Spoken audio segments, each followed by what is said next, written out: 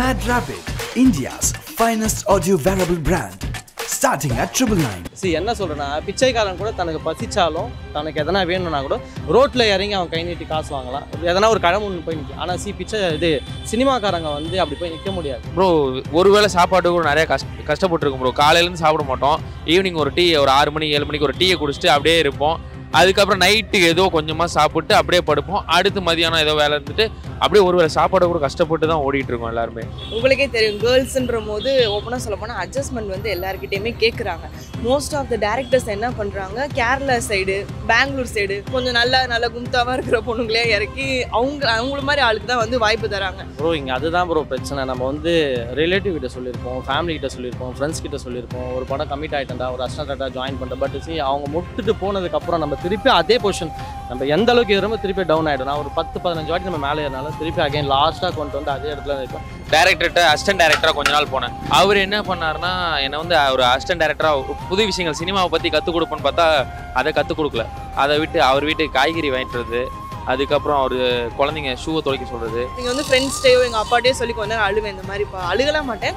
இந்த மாதிரி கேட்குறாங்கன்னொன்னே எங்கள் அப்பா சொல்லுவார். ஒரே ஒரு இதான் சொல்லுவார். நீ வந்து வெள்ளரிக்காய் கடை வச்சு கூட பொழைச்சிக்கோ. ஆனால் இந்த மாதிரி மட்டும் நீ தயவு செஞ்சு போயிடவே போயிடாதுன்னு இதில் வரத அமௌண்ட்டை நாங்கள் எடுத்துகிட்டு போக போகிறதில்ல அடுத்து ஒரு வெப் சீரிஸோ ஷார்ட் ஃபிலிமோ பண்ணுறதுக்காக அப்படி சேவிங்ஸ் பண்ணி இதுலேருந்து நாங்கள் ஒரு கேமரா ரெண்ட்டுக்கு எடுத்து அது பண்ணி இது பண்ணி தான் பண்ண போகிறோம் இங்கே வந்து ஒரு அறுபது ரூபா எழுபது ரூபா பிரியாணிங்கன்னா இப்போ குஸ்கானா அவங்க வந்து என்கிட்ட நாற்பது ரூபா தான் இருக்குது ஐம்பது ரூபா தான் இருக்குன்னா கொடுத்துருவோம். நீங்கள் பரவாயில்ல கொடுங்க. நாளைக்கு கூட கொடுங்க. ஒன்றும் பிரச்சனை இல்லை.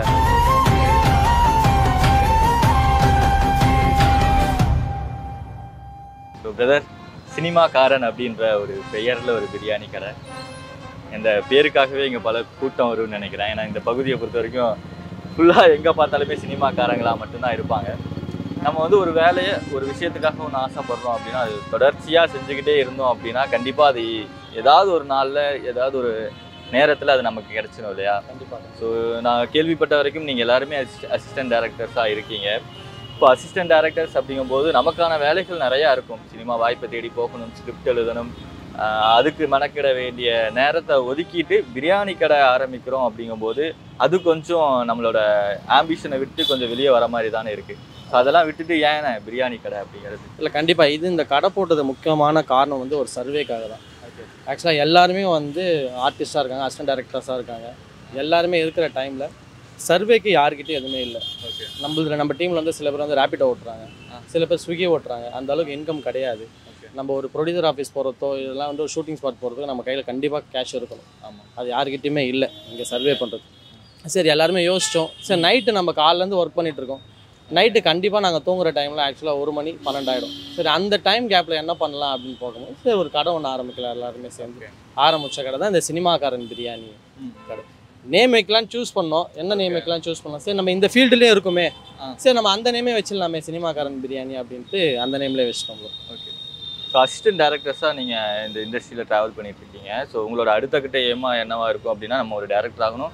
நம்ம வந்து ஒரு படம் பண்ணணும் அப்படிங்கிறது தான் ஸோ அசிஸ்டன்ட் டேரக்டர்ஸாக இருக்கவங்களுக்கு என்ன ஒரு இங்கே பிரச்சனையாக இருக்குன்னு? நம்ம படம் பண்ணணும் ஒரு டேரக்டர் ஆகணும் அப்படிங்கிறதுல என்ன ஒரு பிரச்சனையாக இருக்கீங்க ஒரு ஃபஸ்ட்டு ஒரு அங்கீகாரம்.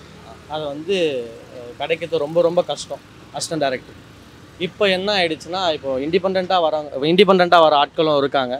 சில பேர் அசிஸ்டன்ட் டேரக்டராக பண்ணி வர ஆட்களும் இருக்காங்க. இப்போ இண்டிபெண்ட்டாக நம்ம வரும்போது அட்லீஸ்ட் நம்ம வந்து ஒரு ஷார்ட் ஃபிலிமோ எதனா ஒரு ஃபிலிம் மேக் எதனா பண்ணி இருக்கணும். ஆனால் சீங்க அதுக்கான ஒரு இதுவே கிடையாது. ஏன்னா இப்போ ஒரு ஃபிலிம் எடுக்க போனால் ஒரு ஷார்ட் ஃபிலிம் எடுக்க போனால் டுவெண்ட்டி ஃபைவ் தௌசண்ட் ஆகும். மேக்ஸிமம் டுவெண்ட்டி ஃபைவ் தௌசண்ட் ஆகும். இங்கே யாருக்கிட்டையுமே அந்த அளவுக்கு டுவெண்ட்டி ஃபைவ் தௌசண்ட் கொடுத்து நம்ம பண்ண வேண்டிய சூழ்நிலை இங்கே யாருக்குமே இல்லை. நம்ம அதை பண்ணால் மட்டும்தான் அடுத்த கட்டத்துக்கான ஸ்டெப் நம்ம நவர வேண்டிய சூழ்நிலை இருக்குது பட் அதுக்கான ஒரு சர்வே அதுக்கான ஒரு வழி தான்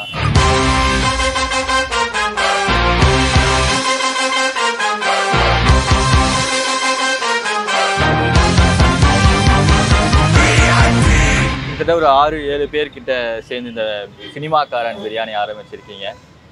நிறையா நண்பர்கள் உங்களுக்கு இப்போ வரைக்கும் சப்போர்ட் பண்ணிட்டு இருக்காங்க. ஸோ ஃபஸ்ட்டு உங்களோட ஃப்ரெண்ட்ஸ் அவங்கள இன்ட்ரடியூஸ் பண்ணிட்டீங்க அப்படின்னா ரொம்ப நல்லா இருக்கும். இவர் வந்து அஸ்வின் ஆர்டிஸ்ட்டு இவர் விவேக் வந்து டைரக்ஷன் டிபார்ட்மெண்ட்டில் இருக்காரு. அவங்க ரேகா ஆர்டிஸ்ட்டு இது அண்ணன் வந்து டைரக்ஷனில் இருக்காப்புல. அவரும் அண்ணன் ஆனந்த் அண்ணன் டைரக்ஷன் அவரும் ஆர்டிஸ்ட்டு தம்பியும் வந்து டைரக்ஷன் டிபார்ட்மெண்ட்டில் இருக்காப்புல. நானும் டைரக்ஷனில் தான் இருக்கேன். ஆக்சுவலாக என்னென்னா வந்து சினிமாவில் வந்து ஃபஸ்ட்டு ரீசன் வந்து வாய்ப்பு கிடைக்காத ரீசன் என்னென்னா வந்து உங்களுக்கே தெரியும் கேர்ள்ஸுன்ற போது ஓப்பனாக சொல்ல போனால் அட்ஜஸ்ட்மெண்ட் வந்து எல்லாருக்கிட்டேயுமே கேட்குறாங்க மோஸ்ட் ஆஃப் த டேரக்டர்ஸ் என்ன பண்ணுறாங்க Kerala side Bangalore side Kerala side Bangalore side கொஞ்சம் நல்லா நல்லா கும்தாவாக இருக்கிற பொண்ணுங்களே இறக்கி அவங்க அவங்கள மாதிரி ஆளுக்கு தான் வந்து வாய்ப்பு தராங்க. மோஸ்ட்டாக நீங்கள் நிறையா படம் எடுத்தாலே நீங்கள் பார்த்துருப்பீங்க கண்டிப்பாக ஒரு கிளாமர் சாங் இல்லாமல் இருக்காது. ஸோ அந்த மாதிரி வச்சு அப்படியே போயிட்டனால நம்ம வந்து தமிழ்நாடு கேர்ள்ஸ்க்கு வந்து வாய்ப்பு கிடைக்கிறது ரொம்ப கஷ்டமாக இருக்குது ஓகே ஸோ சீரியல்ஸுமே அப்படிதான். உங்களுக்கு வர ஆப்பர்ச்சுனிட்டியுமே இது இருந்தால் தான் நீங்கள் வரணும் அப்படின்ற மாதிரி தான் வராங்களா எல்லாருமே? ஆ இல்லை ஒரு சில பேர் வந்து எனக்கு அப்ரோச் பண்ணியிருக்காங்க. பண்ண மாட்டாங்க அப்படின்னு போய் எல்லாம் சொல்ல பண்ணியிருக்காங்க. rare- பண்ணியிருக்காங்க அவ்வளோதான் எப்படி அந்த மாதிரி டைம்ல எல்லாம் ஃபேஸ் பண்ணுவீங்க நீங்கள் எப்படி அதை போல்டாக ஃபேஸ் பண்ணி அதை சொல்லு அது முடியாது அப்படின்ற ஒரு வார்த்தையை எவ்வளோ போல்டாக ஃபேஸ் பண்ணி நீங்கள் அதுலேருந்து வெளியே வருவீங்க? இல்லை நான் அது முடியாது அப்படின்னு இல்லை. எனக்கு வந்து ஆக்சுவலாக அந்த இடத்துல வந்து சொல்ல ஒரு மாதிரி பயமாக இருக்கும். ஐயோ நம்மளை ஏதாவது பண்ணிடுவாங்களோ எது இது பண்ணிடுவாங்களோ அப்படின்னு சொல்லிட்டு அப்படிங்க வந்து ஃப்ரெண்ட்ஸ்டையோ எங்கள் அப்பாட்டையோ சொல்லி கொஞ்ச நேரம் அழுவேன். இந்த மாதிரி இப்போ அழுகலாம் மாட்டேன். இந்த மாதிரி கேட்குறாங்கன்னு எங்கள் அப்பா சொல்லுவார். ஒரே ஒரு இதாக சொல்லுவார். நீ வந்து வெள்ளரிக்காய் கடை வச்சு கூட பொழைச்சிக்கோ ஆனால் இந்த மாதிரி மட்டும் நீ தயவு செஞ்சு போயிடவே போயிடாதுன்னு ஸோ எனக்குன்னு நிறைய திறமை இருக்குது நான் சொன்னேன்ல அந்த ப்ராங்க் அதெல்லாம் பண்ணேன் ஓப்பனாக சொல்ல போனால் நான் அந்த பண்ண ப்ராங்க்கில் தான் வந்து பாலா சார் வந்து டேரெக்டாக வந்து அவர் ஆஃபீஸ்க்கே என்னை கூப்பிட்டு ஆடிஷனே தேவையில்லைன்னு சொல்லிட்டு ஸோ அந்த ஒரு படத்தில் ஒரு சின்ன ஒரு கேரக்டர் ரோல் மாதிரி தந்திருக்காரு. என்னை பொறுத்த வரையும் யாருக்குமே இது வந்து கிடைக்காது. என் டேரக்டர்ஸ் கூட வந்து இன்னும் ஏங்கிட்டு இருக்காங்க. பாலா சார் கூட வந்து படம் பண்ணணும் அந்த மாதிரி பண்ணணும்.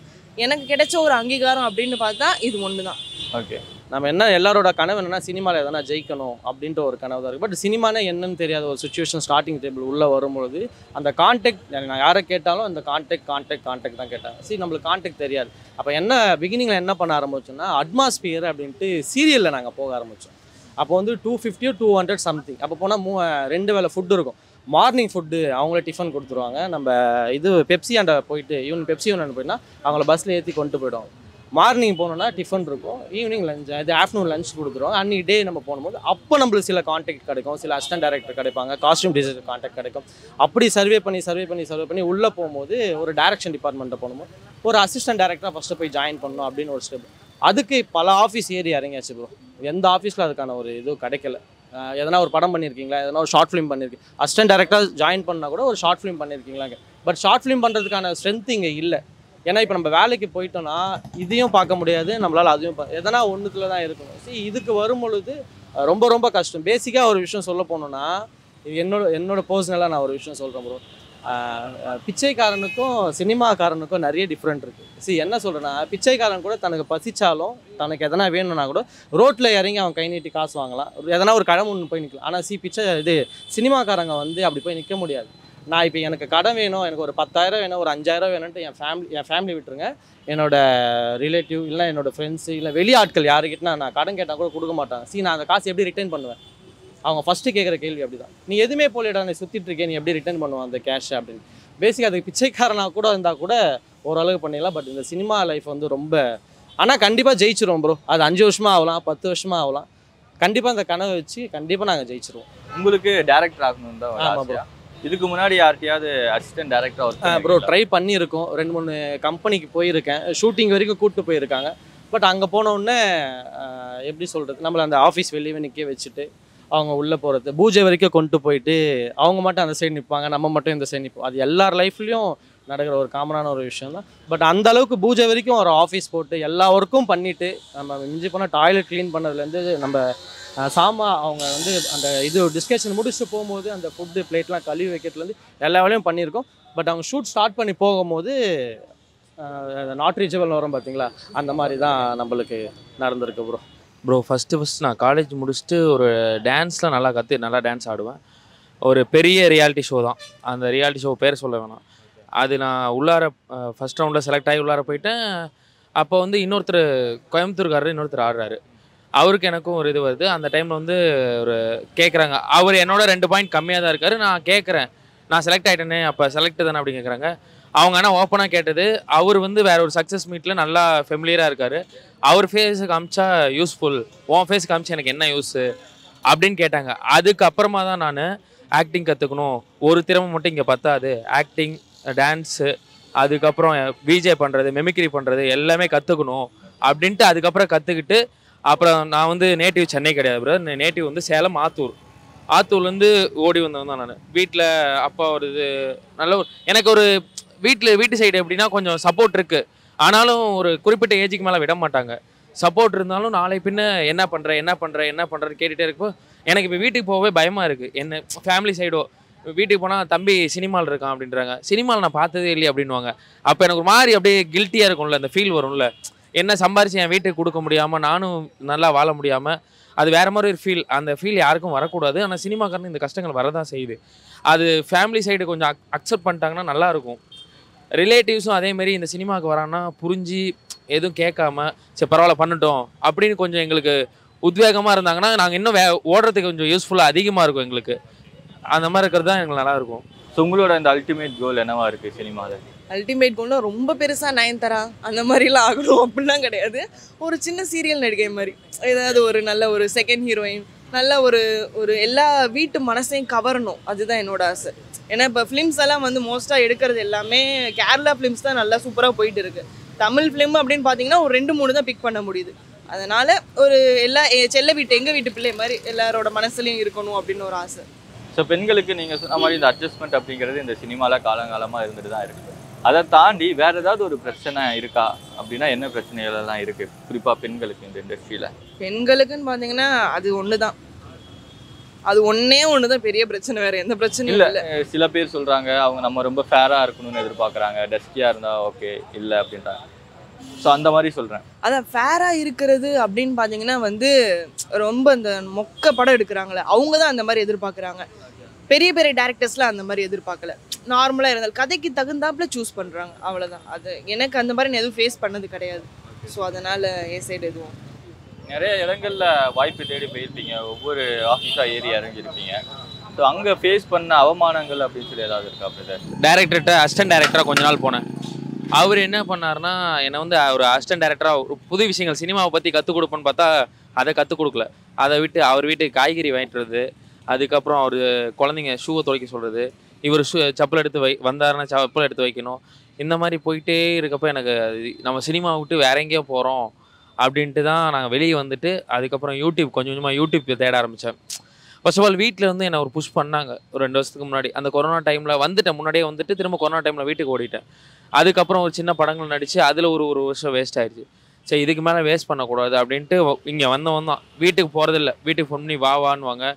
இல்லை நான் ஒரு நல்ல நிலைமைக்கு வந்துட்டு வரேன். அதுக்கப்புறம் பார்த்துக்கலாம் எனக்கு என் வீட்டுக்கு எங்கள் அப்பா அம்மா இவ்வளோ பண்ணியிருக்காங்கன்னா அவங்களுக்கு ஒரு நல்லது பண்ணணும் ஊரில் என் பேர் நல்ல எங்கள் அப்பா அம்மா பேரை காப்பாற்றணும் அப்படின்ற மாதிரி தான் வந்திருக்கேன்.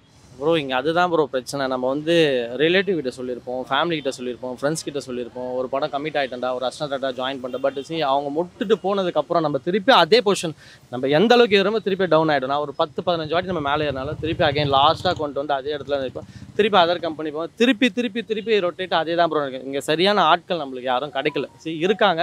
பட் எங்களுக்கு அந்த மாதிரி ஆட்கள் யாரும் கிடைக்கல. எனக்கு கிடைச்ச ஒரு ஆட்கள் வந்து கேஆர் சரவணன் அப்படின்ட்டு சார் ஒரு டிஸ்ட்ரிபியூட்டர் அவர் தான் எங்களுக்கு கொஞ்சம் கொஞ்சம் ஹெல்ப் பண்ணிட்டு எங்களை கூட வச்சு பார்த்துட்டு இருக்காரு ப்ரோ ஸோ உங்ககிட்ட என்ன மாதிரி ஸ்கிரிப்ட் ப்ரோ இருக்கு? இப்போ நீங்கள் ரெடியாக வச்சிருக்கீங்க அப்படின்னா என்ன மாதிரி ஸ்கிரிப்ட் எல்லாம் ரெடியாக வச்சிருக்கீங்க? யாரை வச்சு ஒரு படம் பண்ணணும்னு ஒரு ஆசை? இது கிரைம் த்ரில்லர் ஒன்று இருக்குது ப்ரோ அது வந்து நித்யா மேனனும் ஐஸ்வர்யா லக்ஷ்மி அவங்களது ஒன்று இருக்குது அப்புறம் காமெடி கண்டென்ட்ஸ் இருக்குது அது வந்து பசங்க அவங்க வச்சுருக்கிறது. அப்புறம் ஃபுல் ரா கண்டென்ட் ஒன்று இருக்குது அர்ஜுன் தாஸ்க்கு ஒரு கண்டென்ட் இருக்குது அந்த மாதிரி சில என்னோட சைட்லேருந்து அப்படி இருக்குது அவங்கவுங்க ஸ்கிரிப்டை பொறுத்து அவங்கவுங்க வச்சுருக்காங்க. இதெல்லாம் நித்யா மேனன் ஐஸ்வர்யா லட்சுமி அர்ஜுன் தாஸ் அவங்க கீழே பிச் பண்ணீங்களா அந்த? இல்லை ப்ரோ ட்ரை பண்ணேன். அதுக்கான முயற்சி எடுத்தேன். பட் அதுக்கான ஒரு இது கிடைக்கல.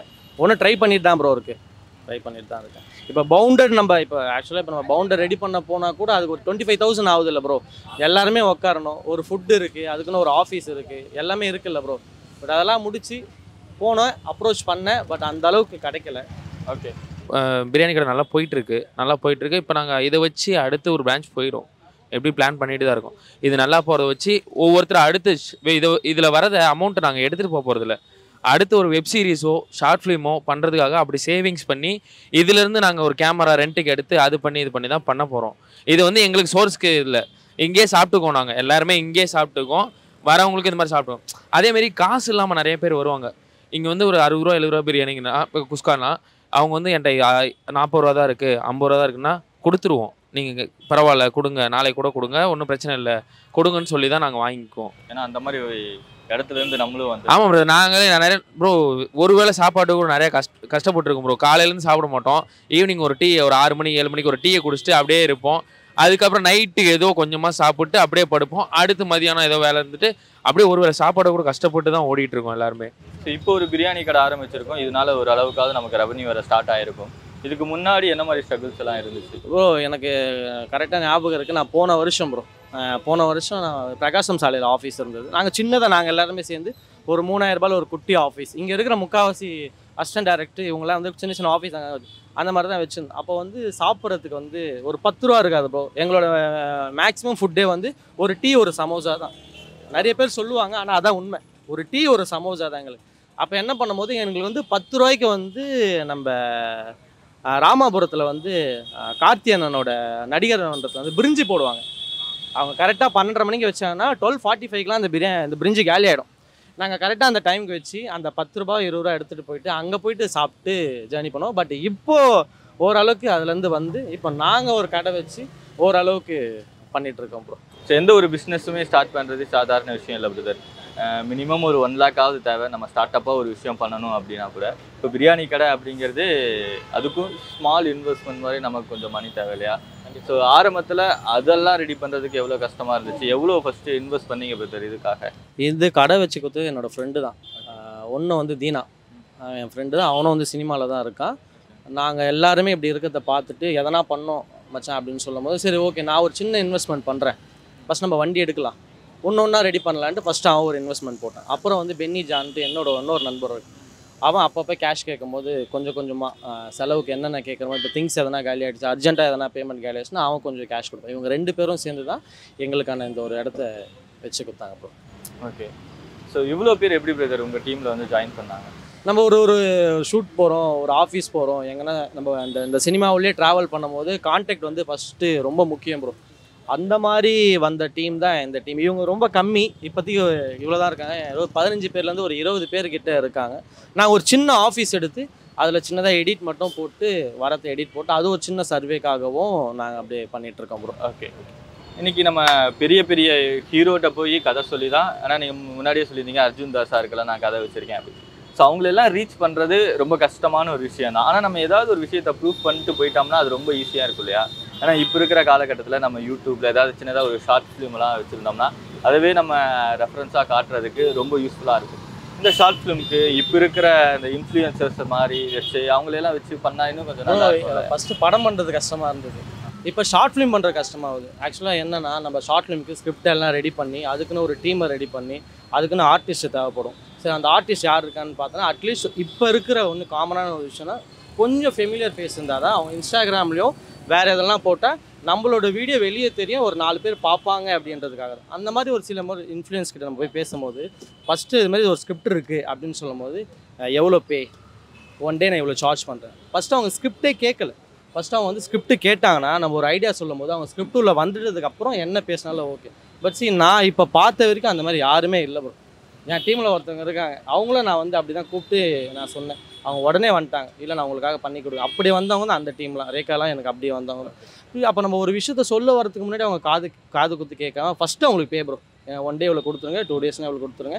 ட்ராவல்ஸ் இவ்வளோ கொடுத்துருங்க. அப்படின்னு சொல்லிடுறாங்க அப்போ எப்படி ப்ரோ நாங்கள் எங்களால் ஷார்ட் ஃபிலிம் பண்ண முடியும் சொல்லுங்கள் நாங்கள் சிறு சிறு கொஞ்சம் கொஞ்சமாக காசு சேர்த்து ஒரு ஷார்ட் ஃபிலிம் பண்ணால் மேக்ஸிமம் முப்பதாயிரம் ரூபாய் வரும் ப்ரோ இப்போ எல்லாமே ஏறிச்சு ப்ரோ டப்பிங் ஃபஸ்ட்டு வந்து டூ ஃபிஃப்டி இருந்தது. இப்போ ஒரு டப்பிங் பண்ணால் ஒன் ஹவருக்கு வந்து five hundred rupees compulsory charge பண்ணுறேன் அப்போ நாங்கள் எங்கே போகிறது இப்போ எங்களுக்கு அந்த ஷார்ட் ஃபிலிம் எடுக்கிறதுக்கு கஷ்டமாக இருக்கும்போது நாங்கள் எங்களால் எதுவுமே பண்ண முடியும் அப்போ என்னென்னா அந்த ஃபீமேல் ஓரியன்ட் அந்த ஸ்கிரிப்ட் ஃபீமேல் வர கேரக்டர்ஸ் கொஞ்சம் எடுத்துட்டு பசங்க யாருக்கிட்ட சொன்ன போனால் பசங்கள்ட்ட அதுவும் வந்து ஆர்டிஸ்ட்டாக போட முடியல. எங்கள் பசங்களை யார் கொஞ்சம் நடிப்பா? அவங்கள வச்சு நம்ம ப்ராக்டிஸ் பண்ணி அந்த மாதிரி தான் ப்ரோ போதும் இது பண்ணுறதுக்கும் வேணும் ப்ரோ அது கொஞ்சம் கஷ்டமாக தான் இருக்குது பட் பார்க்கணும் ப்ரோ ஸோ வீட்டில் என்ன மாதிரி சப்போர்ட்லாம் கிடைக்கும் ப்ரோ எனக்கு அப்பத்துலேருந்து நான் வந்து நான் வந்து நேட்டிவ் வந்து ஃபுல் அண்ட் ஃபுல் சென்னை தான் ப்ரோ சென்னை நான் வந்து அம்மா மட்டும்தான். எங்கள் ரெண்டு அக்கா எனக்கு ரெண்டு அக்கா இருக்காங்க. ரெண்டு பேருக்கு மேரேஜ் ஆகிடுச்சு ரெண்டு மாமா. ரெண்டு மாமனுக்கு தான் ப்ரோ எனக்கு பயங்கர சப்போர்ட் இன்ன வரைக்கும் நான் வேலைக்கு போவேன் நான் இந்த ஃபீல்டில் வந்து ஒரு பத்து வருஷம் ஆகுது ப்ரோ ஃபஸ்ட்டு எங்கள் அம்மா. ரெண்டாவது ரெண்டு அக்கா ரெண்டு அக்கா சப்போர்ட் மூணாவது எங்கள் மாமா. எங்கள் மாமனுக்கு பயங்கர சப்போர்ட் இதை தாண்டி என்னோடய பசங்களும் பயங்கர சப்போர்ட் அம்மா தான் ப்ரோ இப்போ வரைக்கும் அவன் வந்து என்ன ஸ்ட்ரகிள் என்ன போனாலும் எந்த நிலைமைக்கு போனாலும் இன்ன வரைக்கும் ஒரு ரூபா சம்பளம் கொடுத்ததில்ல வீட்டில் நான். இத்தனை வருஷம் இந்த ஃபீல்டுக்கு வந்து ஒரு ரூபா கொடுத்து இன்றைக்கி கூட இந்த பிரியாணி கடை முடிச்சுட்டு போனால் இருக்கிற கணக்கெல்லாம் முடிச்சுட்டு போனால் வீட்டில் காசு இருக்காது. ஏன்னா நாளைக்கு இந்த காசு நான் ரொட்டேட் பண்ணணும். அதனால் வந்து இன்ன வரைக்கும் எதுவுமே கேட்கல. எப்படி போச்சு? என்ன பண்ணேன்?